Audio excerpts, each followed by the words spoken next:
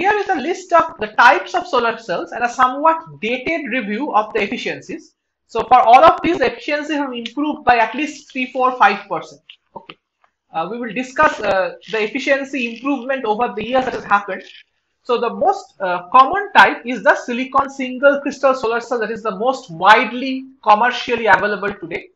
Uh, the band gap is 1.1 electron volts. The open circuit voltage is 0.71.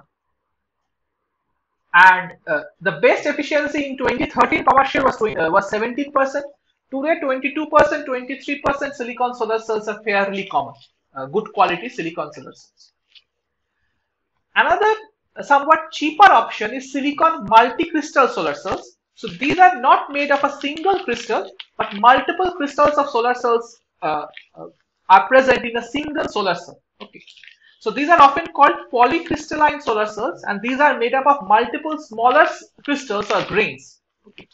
Now these are easier to manufacture because uh, single crystal solar cells manufacturing costs are higher. Uh, recently with improving uh, manufacturing processes the costs have come down significantly for manufacturing of single crystal solar cells. But still multi-crystal solar cells are significantly cheaper than single crystal systems. The problem with multi-crystal cells is there are grain boundaries, the boundaries between the various crystal lattices. Okay, and these boundaries act as uh, shunts through which electrons and holes can flow through the interior of the solar cell, bypassing the forbidden zone or the space charge region and uh, recombining internally. So as a result, they have significantly uh, significantly lower efficiencies compared to single crystal solar cells. So for example, in 2013, its best efficiency was around 13%. Laboratory efficiency was around 20%. Okay, so idealized solar cell efficiency for polycrystalline was around 20%. For single crystal, it was 25%. So there is a 5% efficiency hit because of the presence of grain boundaries. We also discussed germanium earlier. So we remember, if you remember, its efficiencies are quite low uh, because its spectral efficiency, uh, the total theoretical efficiencies are quite low because of the lower open circuit voltage and the voltage factors are quite low. Furthermore, these are germanium is chemically active, that is, it's not very stable and hence they are only used in conjunction with other cells in a multi-layer cell, uh, solar, uh, multi-layer solar cell as we will discuss later in this class. After this, you, you get nanocrystalline or amorphous silicon these are what are called thin film solar cells. Okay. So usual solar cells are more than 200 micrometers thick. So if you look at the thickness of this solar cell, it's uh, uh, if you see here the total thickness here, uh, the P junction is 250 to 400 micrometers, the N junction is 0.2 to 1 micrometers. So this is also important. The PN junction is as close to the surface as possible to collect the maximum of the solar energy. Okay, so the P side is quite thick, the N side is quite thin. Okay, and uh, the uh, it's uh, doped in a gradient basis so that all the electrons can easily go to the collector. Okay, but the total thickness is therefore around 250 to 400 micrometers. So as a result, whereas the thin film system, the thickness of your semiconductor is just 1 to 2 micrometers. The entire solar cell is like a thin film of 1 to 2 micrometers. So one of the advantages of a thin film solar cell is the material costs are significantly lower because you are using very little of the semiconductor material. So these are kind of printed over sheets, deposited or printed over sheets of about 1 to 2 micrometers of active uh, semiconductor substrate. Okay. So these are obviously not crystalline because they are very thin film. So you are having nanocrystals or amorphous silicon systems.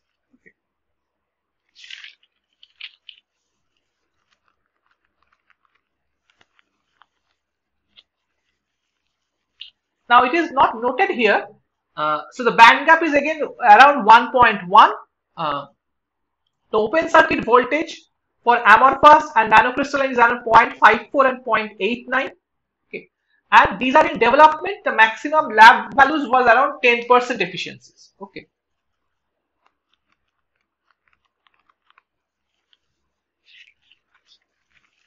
So because these do not have a uh, coherent crystal structure, the resistances uh, within the thin film is significantly higher and you get a lot of recombination losses as well.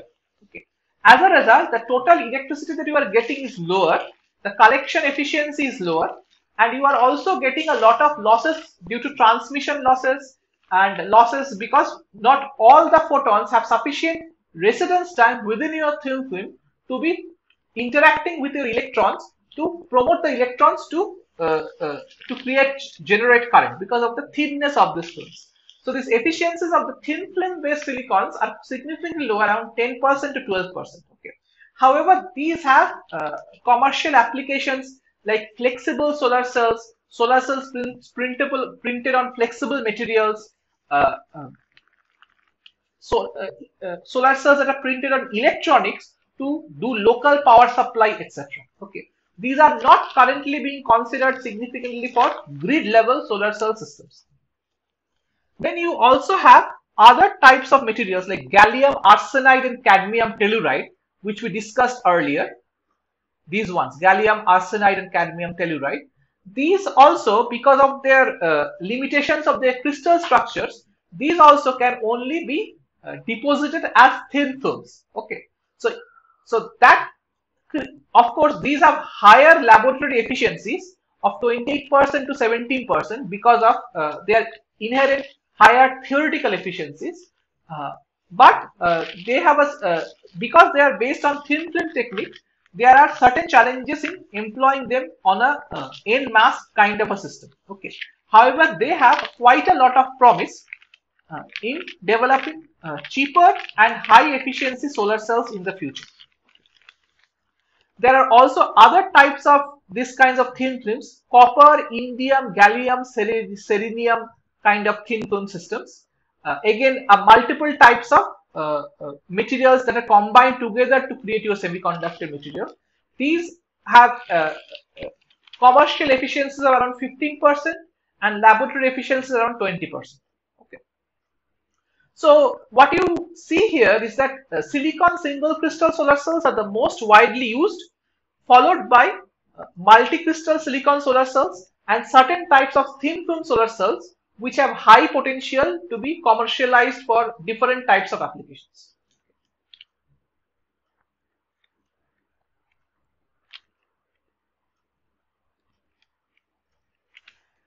The next type of system that we will be discussing is multi-junction solar cells. So these multi-junction solar cells are trying to tackle the basic difficulty of solar radiation that it has a whole range of frequencies some are so low that electrons cannot be promoted for a given uh, semiconductor and some are so high that a lot of thermal losses are taking place in such cases so the question is what if we could create multi-junction solar cells where you have a solar cell made of multiple types of semiconductors with different band gap energy levels. So you have a specific semiconductor junction with high band gap that specifically caters to high energy photons so that you minimize the thermal losses. You have another set of uh, another junction with low band gap so that you can also capture and promote uh, uh, uh capture the low energy photons using the low band gap part uh, semiconductor system. Okay, and, and an intermediate one to capture the intermediate photons. This way, you can minimize both the thermal losses and the transmission losses and increase the available spectral efficiency and hence the theoretical efficiency of your solar system. So these are called multi-junction solar cells. Okay. So here is one example of a multi-junction solar cell. So uh, this solar cell is often called uh, yes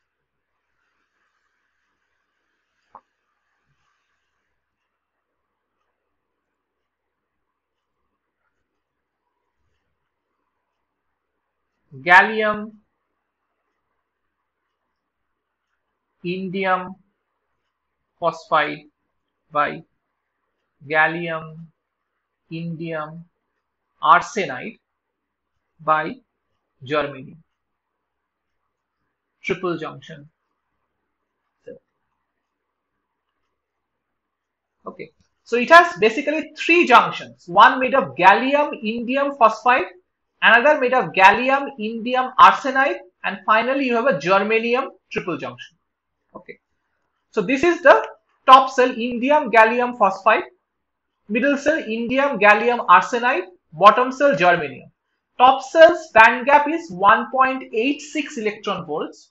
This is the blue zone which is capturing the uh, high low wavelength that is high energy photons and minimizing the thermal losses of these high energy photons with a 1.86 electron volt junction. Then you have a middle cell of indium gallium arsenide which has a band gap of 1.4 electron volts. So this is responsible for capturing wavelengths between 750 to around 1100 nanometers. Then your bottom germanium cell is responsible for capturing 1100 to around 1800 nanometers, which is the infrared range of the solar spectrum. So that's this way your thermalizing and transmission losses are significantly minimized. Okay.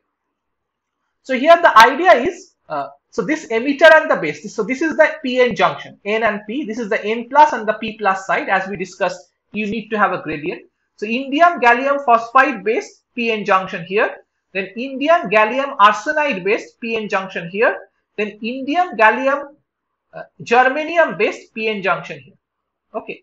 Now the issue, these cells are connected in series. Okay. And the issue is this is P side, this is N side.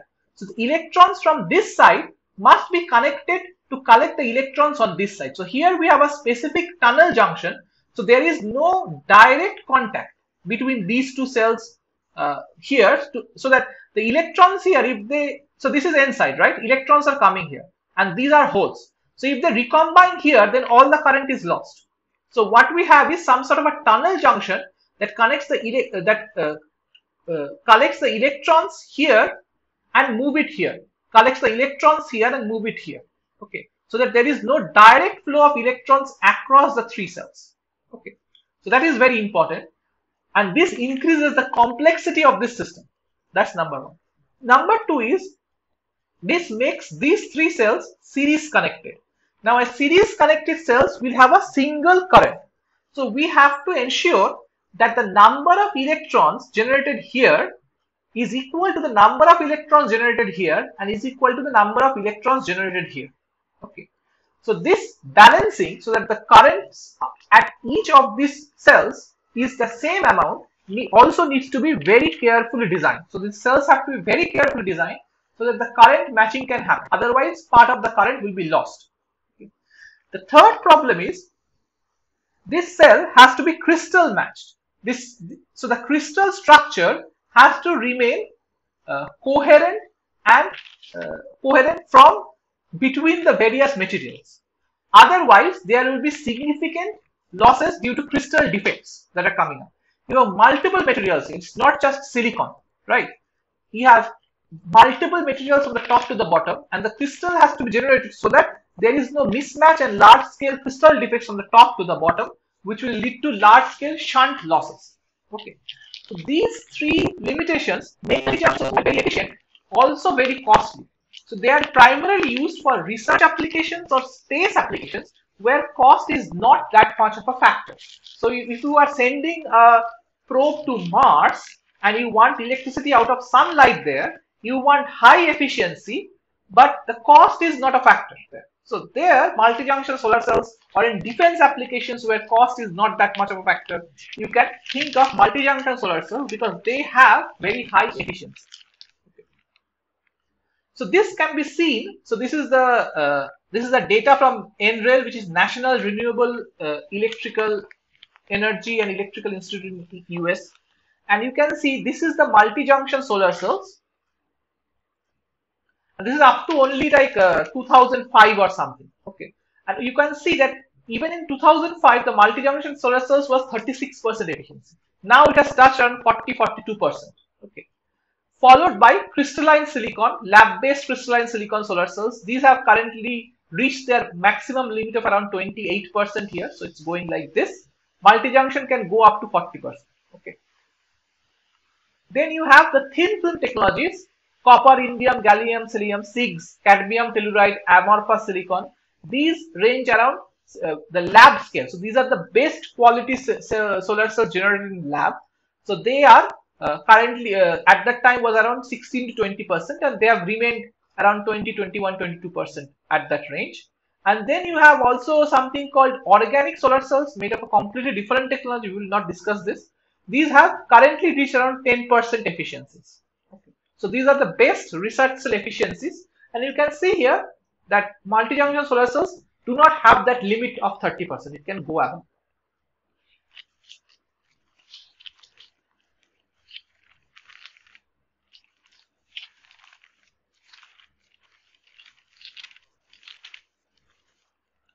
So now we are, uh, so this is your solar cell.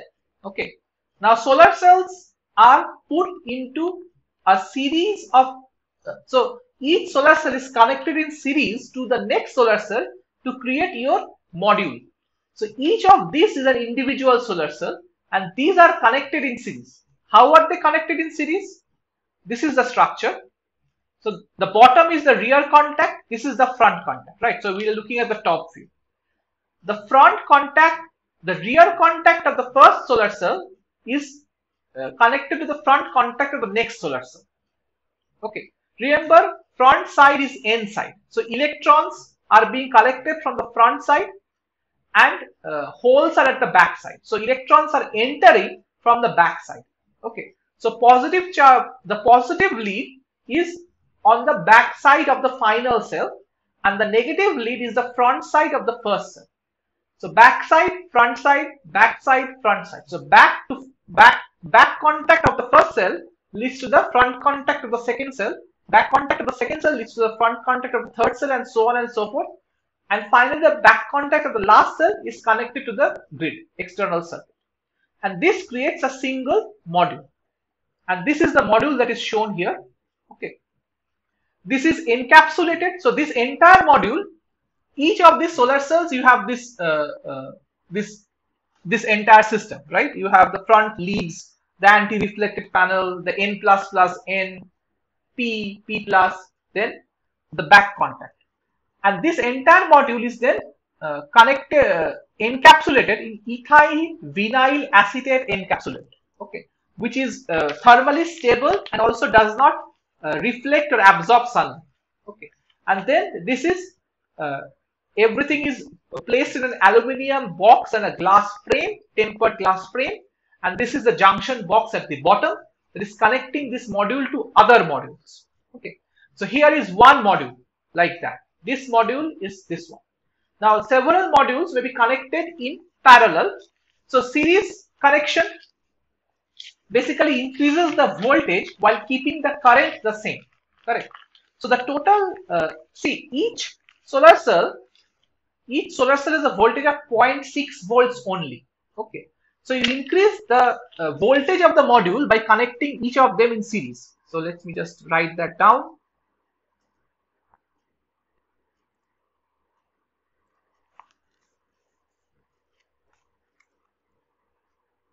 So here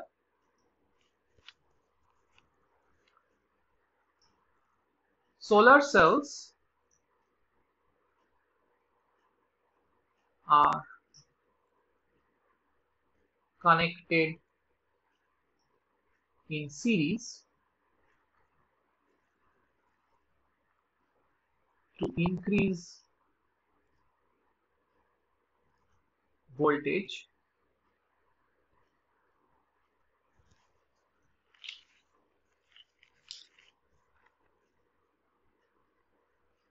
Uh, 36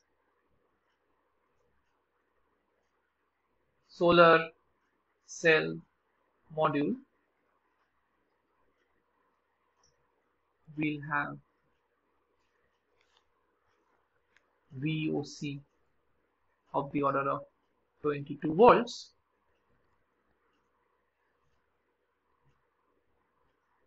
And ISC of the order of 5.5 amps okay now these modules may themselves be connected in parallel to get higher uh, current. Now connect several of these modules in parallel. So you can have a 36 solar cell module with a VOC of 22 volts. A 72 solar cell module will have a VOC of 44 volts, so on. And each of these modules are then again connected, which will reduce the voltage, but now the currents are added. And this is also very useful because suppose one of these modules, one of these solar cells is somehow broken, then this entire module will stop working. Correct. Because suppose this solar cell is somehow uh, got damaged and is not passing current from the top to the uh, from the bottom to the top. Okay? So then this entire module is off. Okay? You you cannot pass current anymore. Okay? So this is like your uh, uh, your uh, blinking lights that are connected in a chain. If if one connector goes out the entire light system goes out. Okay. So this entire module can go out because of the damage to one solar cell within the 72 or 36 cell module. Okay. So then you need these modules to be connected in parallel so that the other, other modules working can still deliver the uh, current to your system. Okay, and there is no complete failure of the entire system. Okay, so you have uh, modules in parallel also which decreases the voltage but increases the current and you are getting a finally kind of 4 amperes to 15 volts kind of system. Okay.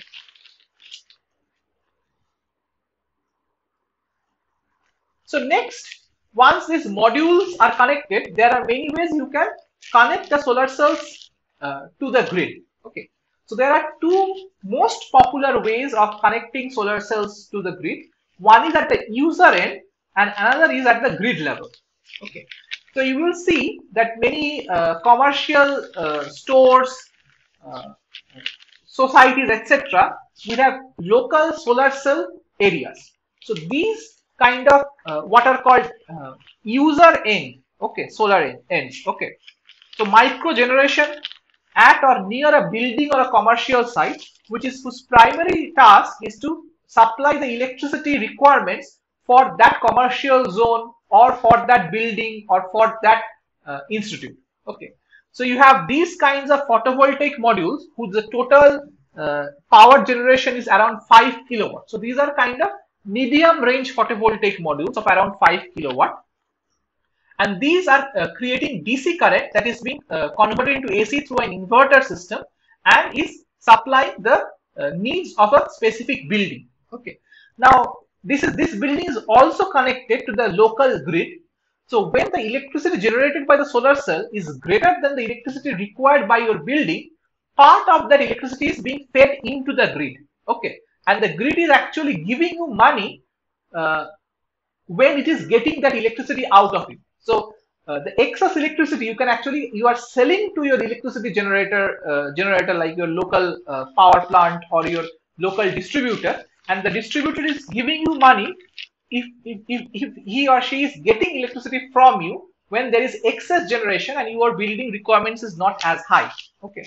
Whereas when your solar cells is not able to generate enough electricity, you are sourcing uh, part uh, the electricity shortfall from the grid and you are paying for that. Okay, so this kind of creates a flexible system where you have the security that you will get electricity from the grid when your local solar cells do not generate enough electricity. You also get the financial uh, uh gain that you can sell your electricity to the distributor for the excess electricity to the distributor and hence your bills are significantly lower. So this kind of system is very popular abroad and also is becoming popular in India uh, in, in many places. Okay. The other thing is a dedicated power plant, a dedicated solar farm for commercial uh, uh, uh, electricity supply to the grid. So this is not a user side system. This is a kind of a big scale solar farm that is generating a lot of electricity. So here, here you have 100 kilowatt array. So this is 5 kilowatt. This is around 20 times higher, 20, uh, and it can be uh, 500 kilowatt arrays as well. So large scale solar uh, plants which are directly sourcing your electricity to converting into firstly to ACs and tra transferring it to high tension wires to substations and transformers, and you are and and you are transferring the electricity into grid lines. So this is a traditional system. So instead of a thermal power plant, you have a solar farm that is generating 100 kilowatts, uh, 500 kilowatts of electricity and transferring it to your grid. Okay. So uh, that kind of shows the current PV architecture, the infrastructure and the technology. And with that, we uh, finish our discussion of solar cells uh, for today. Okay. So thank you for listening and we will come back with a new uh, chapter in uh, uh, renewable and sustainable energy technology in the next class. Thank you.